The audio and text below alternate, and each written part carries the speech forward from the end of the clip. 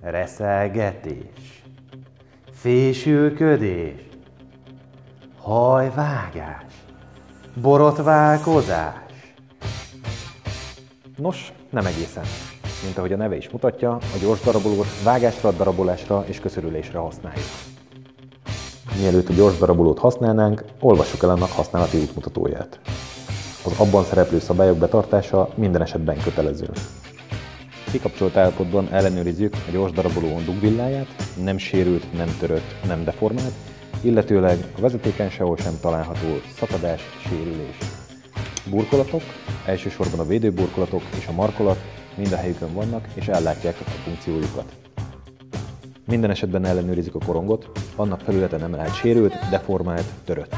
Csak olyan korongot helyezzünk fel a gyors darabolóra, amelynek átmérője és forgási sebessége megfelel a gyártó által előírtaknak, vagy annál nagyobb. A védőburkolatot és a markolatot a gépről eltávolítani tilos. Ellenőrizzük a munkadarab megfelelő rögzítését, és hogy a flex bekapcsoláskor a korong ne érintkezzen a munkadarabbal.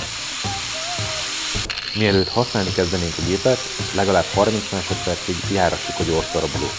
Ha imbolygás vagy rezgés tapasztalható a korongnál, azonnal le kell állítani, és át kell vizsgálni. A repet, sérült korongot azonnal cserélni kell. A láthatósági mellényt vegyük le a vágás megkezdése előtt. A gép működése során mindig viseljük védőszemüveget vagy arcpolzsot, fülvédőt és munkavédelmi cipőt. Ne nyúljon mozgó alkatrészekhez.